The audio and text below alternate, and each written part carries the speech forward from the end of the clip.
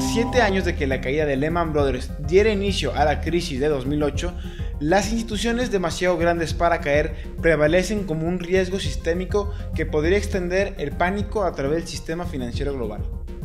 La Junta de Estabilidad Financiera, un organismo internacional que supervisa el sistema financiero, establece que existen 30 instituciones que están catalogadas como sistémicamente importantes.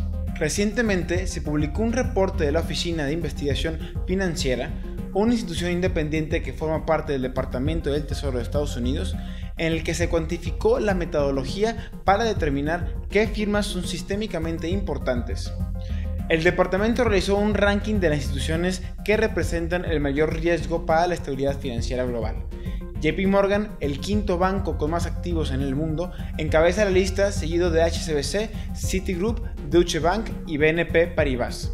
El reporte evalúa el tamaño de las firmas, su exposición a derivados difíciles de evaluar y activos poco líquidos, su complejidad, su interconexión, la escala global de sus actividades, así como el grado de sus operaciones pueden ser sustituidas.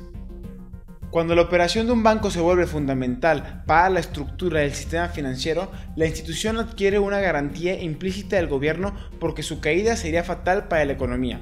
En ese sentido, dada su condición de demasiado grande para caer, la firma tiene los incentivos para involucrarse en actividades que implican más riesgo alimentado un ciclo vicioso de inestabilidad. De tal modo, los que antes eran considerados como los titanes del mundo financiero, ahorita enfrentan cada vez más cargas por tener sus cuentas claras en Estados Unidos. Para conocer de esto y otros temas puedes ingresar a la página reporteindigo.com. Muchas gracias y hasta la próxima.